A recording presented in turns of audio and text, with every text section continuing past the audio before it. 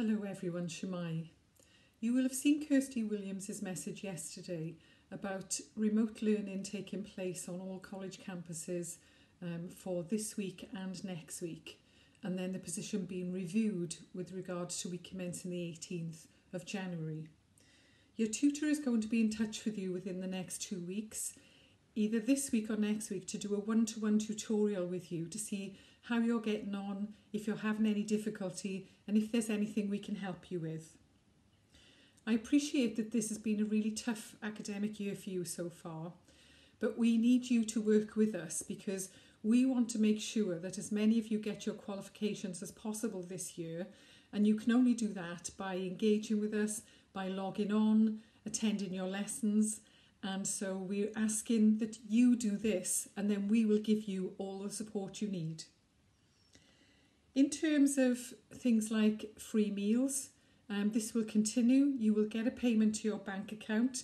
If we don't have these details, please get in touch with us as soon as possible. And for some of you, the financial circumstances at home might have changed and you may now be entitled to free meals. So please have a look on Student Life and complete a form if you think you are entitled so that we can get those payments to you. We want to help everybody as much as we can. Um, there might be changes to assessments this year. We haven't heard anything yet.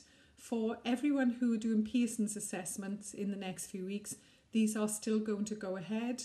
Our campuses are open and they're safe. You will be asked to wear your mask, socially distance, and wash your hands. And everything will be set up so that you can do your assessment in a socially distanced and safe way.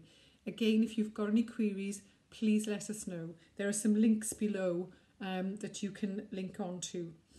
Um, although this year is turning out very differently from what you expected, especially if you're doing subjects with a more practical element, I want to reassure you that your future success is really important to us.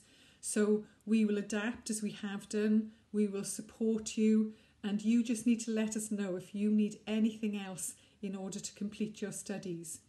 In the meantime, take care of yourselves and your families, stay safe, and we look forward to continuing to work with you and we'll keep you updated as things unfold and we decide when it's going to be possible to return to face-to-face -face learning.